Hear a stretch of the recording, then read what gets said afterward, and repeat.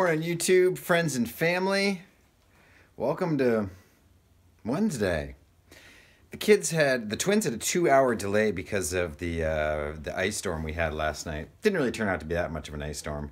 And Milo, they called school off today for Milo. Look, it's a beautiful day, and he's got school off, and whatever.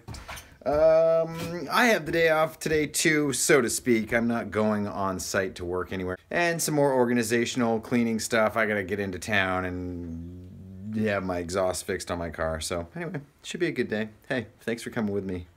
And uh, let's check out this beautiful world we got here. This crystalline, refractory world.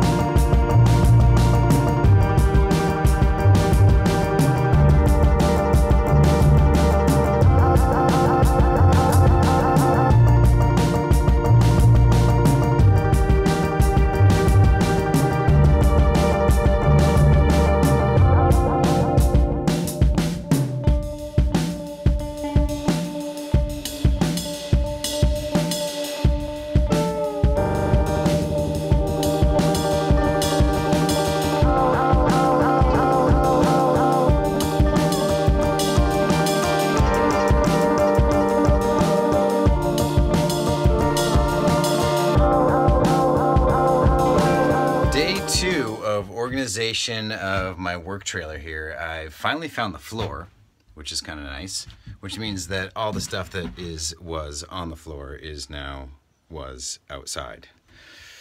Uh, and, and we'll all get back inside. But um, geez, I'm almost to the end of it. I just need to clean out like this last little area, and then I know what I have, and it's all organized. I'm psyched for that. I had a lot of redundant stuff. You know, when this was a crew trailer, you needed like multiple multiples of things. But now that it's really just me, I don't need like four sledgehammers.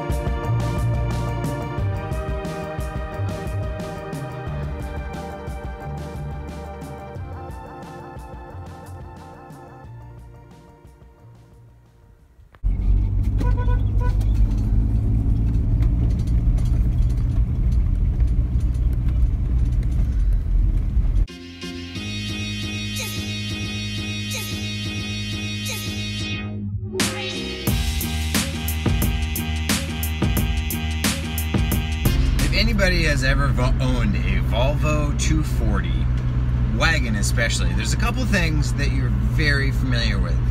One is the rear windshield wiper that doesn't work or works only part of the time or works somewhere between part of the time and never. If that makes any sense.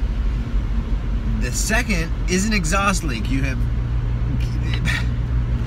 maybe I abuse the underside of my car, and that is really what leads to the exhaust issue. But exhaust and rear windshield wiper are like two of the most common problems that you see with Volvo wagons. And I'm going to have one of them dealt with right now. my exhaust.